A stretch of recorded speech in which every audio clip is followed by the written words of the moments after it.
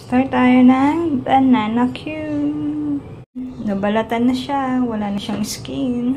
Wala nang balat. Ulo tayo ng mantika. Tapos ilalagay natin ang banana. Ready put the banana until become brownies. Okay na siya. Tapos lalagyan natin ng sugar. Now we will put the sugar. Sugar. Yan. Ay, hindi napunta sa ano. Yan. Put the sugar. Until mag-melt yung sugar. Huwag natin hayaang magdikit-dikit ang banana. Yan na siya. Siguro wag na nila yung camera. Ito ka na siya. Diba?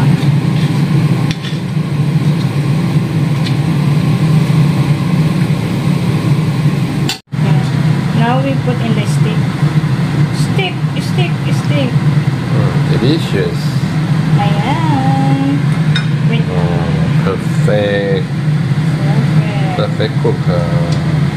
First time. First time I cook. Oh. Okay na yan. Okay na? Ah,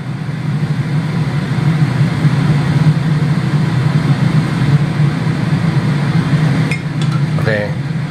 Huh? Uh, okay. Uh, unfinished product. Ticket, ticket,